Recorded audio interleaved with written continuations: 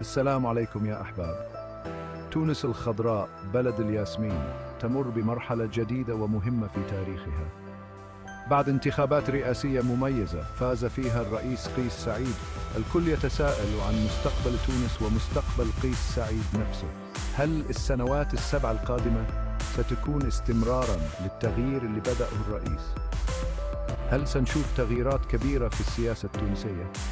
أسئلة كثيرة تدور في بالنا وإحنا نستقبل عام 2029 السنة اللي ممكن نشوف فيها قيس سعيد مرشحا مرة ثانية.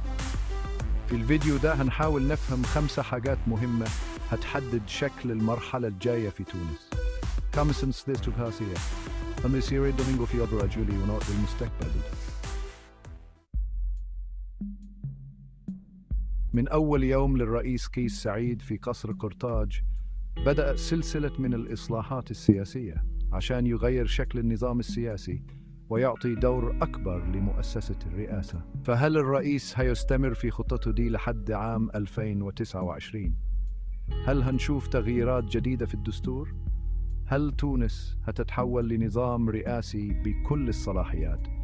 أسئلة كثيرة موجودة والإجابة هنعرفها مع الوقت لكن الأكيد إن الرئيس مصمم يترك بصمته على النظام السياسي في تونس في أول انتخابات رئاسية له اختار قيس سعيد يكون مرشح مستقل بعيد عن الأحزاب المعروفة فهل هيفضل على موقفه ده في 2029؟ هل هيدخل الانتخابات بدعم شعبي بس؟ ولا هنشوف تحالفات سياسية جديدة؟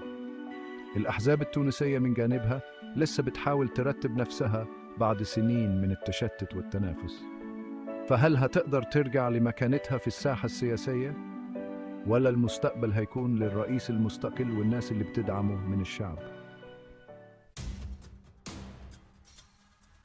مفيش شك إن الاقتصاد هيكون له دور كبير في الانتخابات الرئاسية الجاية الوضع الاقتصادي الصعب اللي بتمر بيه تونس تحدي كبير للرئيس كيس سعيد البطالة بتزيد وأسعار الحاجات بتزيد والناس مستنيين حلول أساسية فهل الرئيس هيقدر يحقق إنجازات اقتصادية واضحة قبل عام 2029؟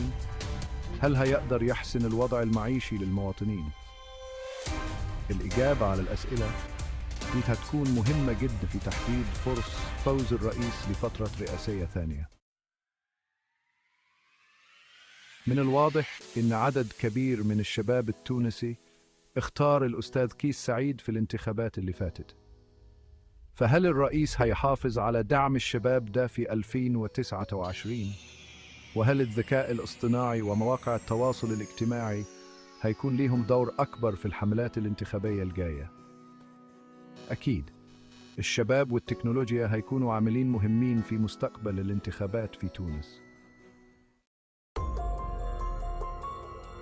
تونس مش بعيدة عن اللي بيحصل حواليها الأوضاع الأمنية والسياسية في ليبيا والجزائر لها تأثير على تونس فهل الرئيس قيس سعيد هيقدر يحافظ على أمن تونس واستقرارها في ظل الظروف دي؟ وإزاي هيدير العلاقات مع الدول المجاورة والدول الكبيرة؟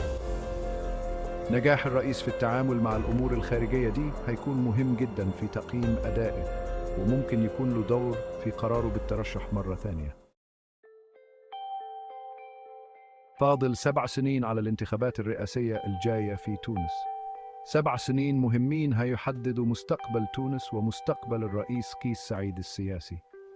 الطريق لسه طويل والتحديات كثيرة لكن شعب تونس اللي قدر يعمل التاريخ قادر يواجه التحديات ويبني مستقبل أفضل. فهل السنوات الجاية هتكون سنين ازدهار لتونس؟ وهل الرئيس قيس سعيد هيستمر في مسيرته السياسية؟ كل دي أسئلة هنجاوب عليها الأيام الجاية